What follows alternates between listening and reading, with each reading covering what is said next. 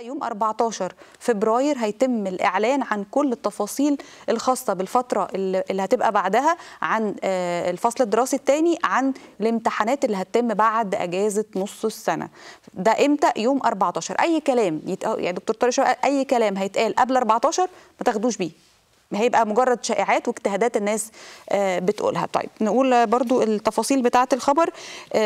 هيتم تقييم الطلاب عن مناهج الفصل الدراسي الأول بعد امتحانات بعد انتهاء أجازة نص السنة اللي هتخلص يوم 20 الأجازة هتخلص 20 بعدين هنرجع للفصل الدراسي الثاني هتكون الامتحانات بتاعة الفصل الدراسي الأول. التفاصيل هتبقى إزاي؟ الترتيب إزاي؟ الجداول الأيام كل الكلام ده هيتم الإعلان عنه يوم 14 فبراير.